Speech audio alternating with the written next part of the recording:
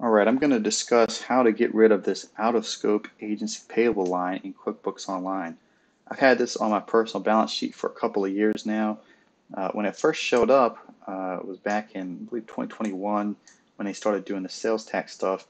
And I tried to get rid of it by coming down to accounting, chart of accounts, and come out and find that, that account right down here, out of scope agency payable, and click inactive and it says failed to inactivate some accounts, unable to make one account active.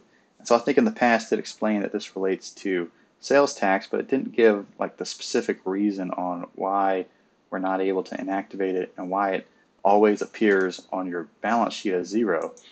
And so uh, what I've figured out is that this uh, is permanently attached to your balance sheet when you've indicated on any invoice in the past that it's subject to sales tax, but you haven't actually collected the sales tax.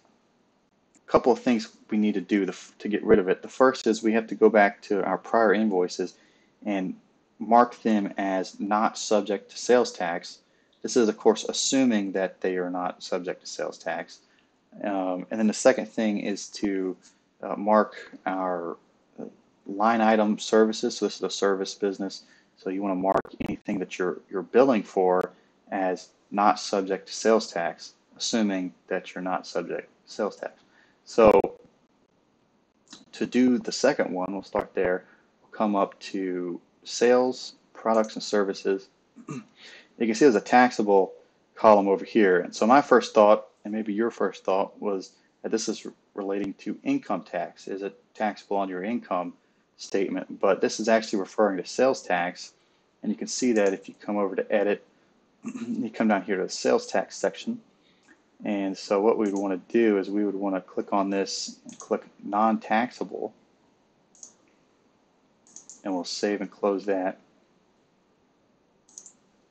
And just a little side note, it appears that when we come over and click edit, it automatically um, shows taxable, but we can see that it's currently selected to not taxable because uh, there's none of there's none of these uh, rows in this taxable column are checked.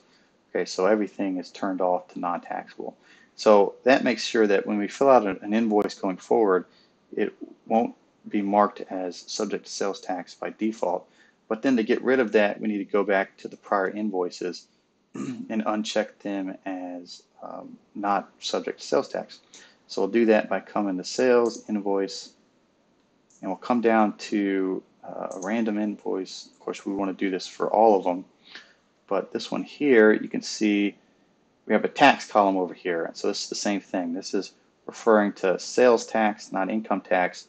And so if this is checked, we would have to edit this uncheck it and, uh, and then save it again. And once you do that for all of the invoices, then when you go to the balance sheet, at least in my situation, when I went to the balance sheet, it had removed that out of scope agency payable.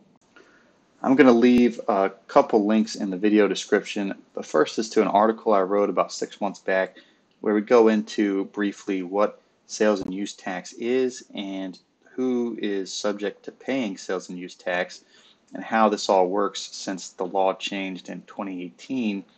Uh, there's also have a link here somewhere right up here above this chart.